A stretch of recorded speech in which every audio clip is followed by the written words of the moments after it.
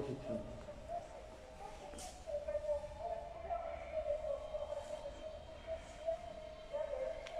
Siamo nell'ala nord del Museo di Capodimonte, dove eh, c'è la mostra dedicata a Vincenzo Gemito. Noi come inviati di Positano News siamo qui per raccogliere e eh, rendicontarvi con foto, video, immagini e dirette questa mostra spettacolare. Gemito ci interessa particolarmente da vicino perché ha frequentato e conosce bene la penisola sorrentina. È stato più estate ospiti del conte Lavia all'annunziata di Massalupense.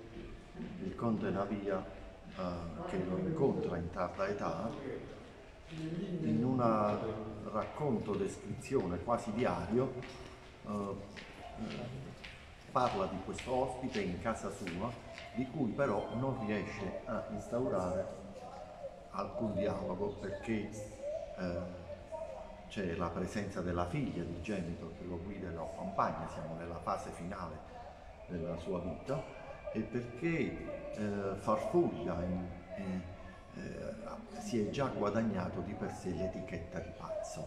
Ma vediamo questo grande artista.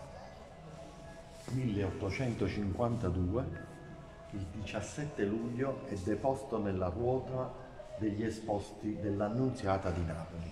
Questo grande ospedale, questo grandissimo orfanatrofio, attivo e funzionante fino a qualche decennio, lo riceve il 1852. A 16 anni mette su la sua prima opera, il giocatore in bronzo.